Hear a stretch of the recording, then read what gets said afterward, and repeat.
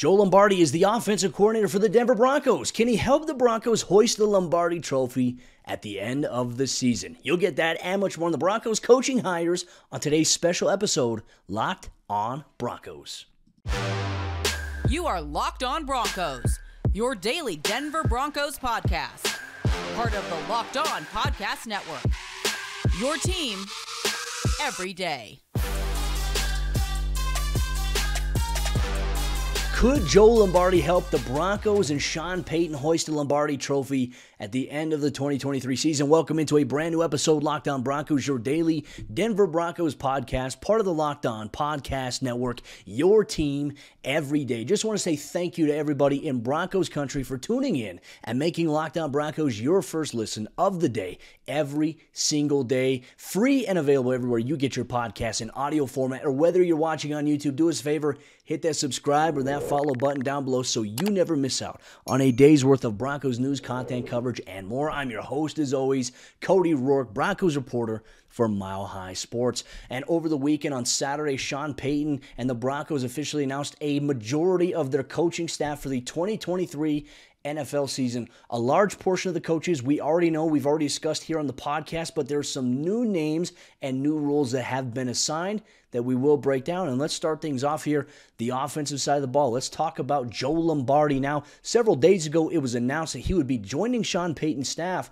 but it was unclear to any of us or anybody in Broncos country what his official role would be. Now we know that on Saturday it was announced he will be the team's offensive coordinator this upcoming season. And look, the Broncos offense needs a revamp, they need rehauled entirely this upcoming season. And more recently, Lombardi spent the last two seasons as a member of the Los Angeles Chargers coaching staff as their offensive coordinator working with Justin Herbert. And there were a lot of times before the Broncos filled their head coaching spot with uh, Sean Payton that if the Los Angeles Chargers were to fire Brandon Staley, the connection was there that Joe Lombardi would probably stay on there in LA and Sean Payton would come in to be the head coach.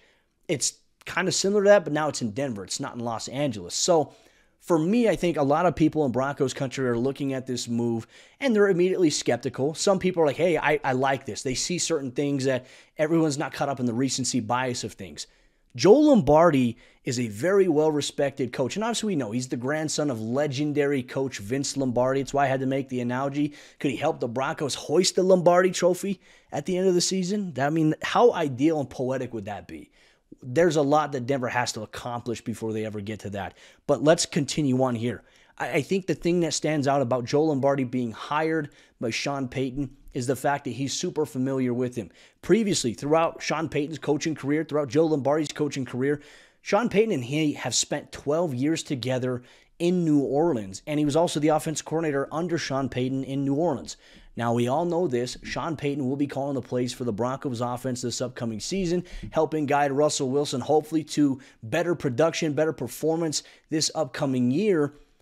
Lombardi is a guy that makes sense. And, and you know, a lot of people, like I said, are, are getting caught up on, oh, he's the OC. And they're looking at the Chargers. And the thing that I'm seeing on Twitter, some of the comments I've gotten, especially on YouTube as well, you go to any Chargers podcast, you want to check out the Locked On Chargers podcast, you look at their feeds and they're like, oh, Joe Lombardi's to blame. I don't understand that when they're putting up a ton of points this season and you had the situation in the playoffs where they have a massive lead at halftime. And then the second half, they blow it.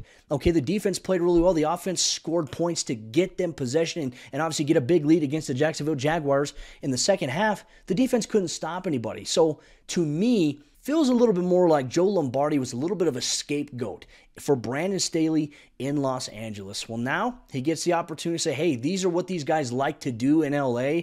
And it gives the Broncos some inside intel on maybe how to attack some of the weaknesses that the Chargers have. Though the Broncos did beat the Chargers in the Week 18 regular season finale to close things off to set up the week before for their loss to the Jacksonville Jaguars. So, you know, I, I think that a lot of people have to wait and see, right? And same thing with the Vance Joseph hire as defensive coordinator. There is a reason Sean Payton made this move. I may not understand it. Sayre may not understand it. You may not understand it.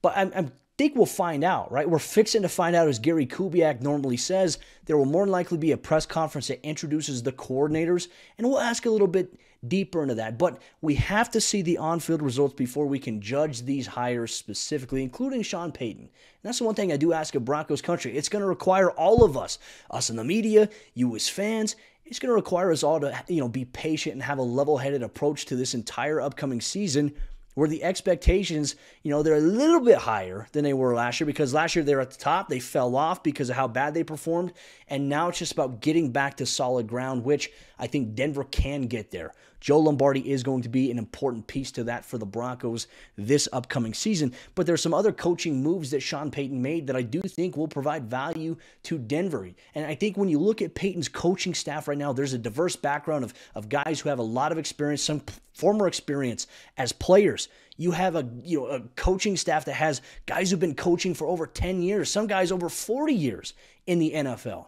I don't think you can overlook that because of the fact that, oh, this seems like a questionable decision. Like I said, we have to let it all play out. But Paul Kelly is the assistant to the head coach, not the assistant head coach. That is Mike Westhoff. But he is the assistant to the head coach, a role that he had when he was a member of the Washington Commanders back when Mike Shanahan was coaching there. And since then, he's kind of elevated. He's been in an executive role with that team for the last 11 seasons. He is now coming over with the Denver Broncos with Sean Payton to be the assistant to the head coach. It'll be interesting to find out what that job actually entails going forward, especially with some of the other coaches that the Broncos have brought onto staff. Now, I'll mention this as well. Payton has brought on some guys that he has familiarity with. And the next one is his passing game coordinator on the offensive side of the ball. It's going to be John Morton. And he coached with Sean Payton in 2015 and 2016 as an offensive assistant with the New Orleans Saints. And in 2022, Morton was a senior offensive assistant with Dan Campbell and the Detroit Lions, which their offense is one of the high scoring offenses in the NFL you look at some of these moves and you can say, okay, Sean Payton is not wasting any time trying to build the staff that can help the Broncos offense not only be good, but put up points. And that is the goal. That's what these moves and these hirings are simply to do. Just that. And we have to wait for the process to play out. We have to wait for the regular season to get here. We can't base too much off of what we see in training camp or even the preseason for that matter, because those are deceptive. The sample sizes are skewed, and what you're actually able to report on is very, very minimal. So once the regular season comes and everybody gets their eyes on the Broncos offense, we will see if they take gradual steps forward this upcoming season. Now, on this bonus episode of Locked On Broncos, ladies and gentlemen, we're going to continue talking about some of the coaching hires are there any surprises, and why are the Broncos taking an unorthodox approach with some positions on their coaching staff? You'll get that on today's bonus episode, Locked On Broncos. This episode of the show is brought to you by our good friends at FanDuel Sportsbook. And the midway point of the NBA season is here, and now is the perfect time to download FanDuel, America's number one sportsbook, because new customers get a no sweat first bet up to $1,000. That's bonus bets back if your first bet doesn't win. Just download the FanDuel Sportsbook app. It's safe, it's secure, and it's super easy to use. And then you can bet on everything from the money line to point scores to threes drained in a game. And plus, FanDuel even lets you combine your bets all in one for a chance at a bigger payout with a same game parlay. So don't miss the chance to get your no sweat first bet up to $1,000 in bonus bets when you go to fanduel.com slash locked on. That's fanduel.com slash locked on. Make every moment more with FanDuel, an official sports betting partner of the NBA.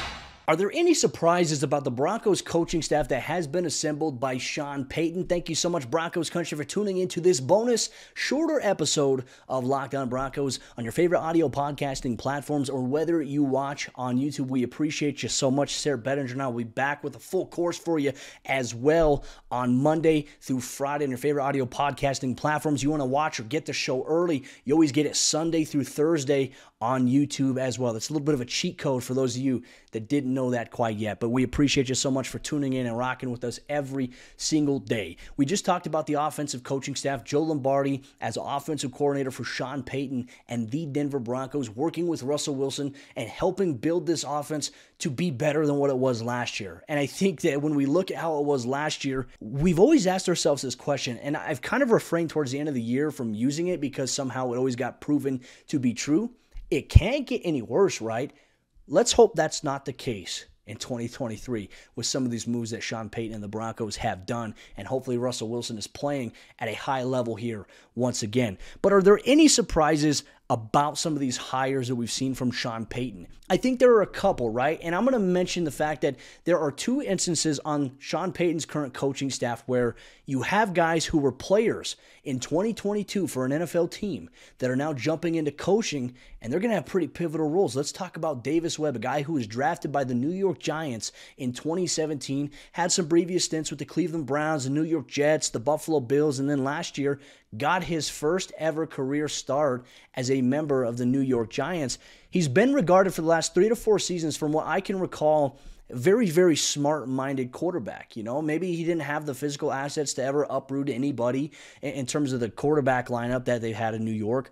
But he's been considered as a guy who's probably going to take the jump to coaching. And a similar guy I can throw out there and mention is Brett Rypien is also viewed in the same category that Davis Webb has been.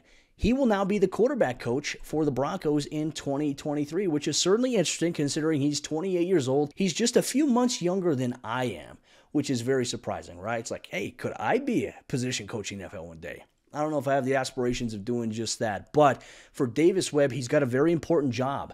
And then there's another guy as well that's coming on staff, Chris Banjo, who spent some seasons with the Arizona Cardinals more recently. He's a defensive back. He was a key special teams player down there in Arizona. He's joining the Broncos coaching staff under Ben Kotwica, the special teams coordinator, as the assistant special teams coordinator here in Denver. A guy who's played a ton of special teams here in the National Football League. I think it's valuable to have that experience. And even for Davis Webb coaching quarterbacks, I think it's crucial to have guys who have played and have played more recently. You get a different insight in the way that these guys prepare for games as well as players it's unique to what you see in the NFL, right? It's why when so many players' careers are over, they tend to get into coaching because they miss it, but they also have that experience. They have that expertise that can help them make the transition.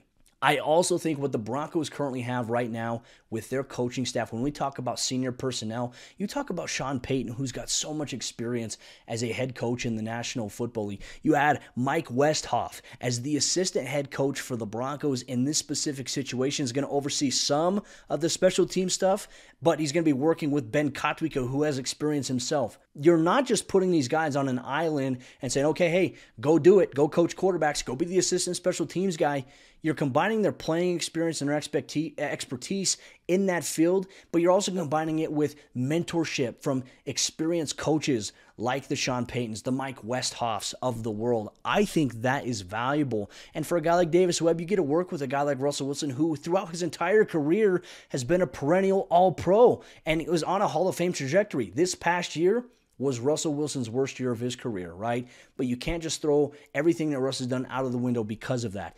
This is a good experience for the Broncos. It's a good experience for these young coaches that are getting valuable hands on experience in the National Football League. I think for some people, they look it like this is so unorthodox. I don't understand why Sean Payton is doing this. I look at it and say it's outside of the box thinking. And this is, I think, what the NFL is, is going to eventually evolve into.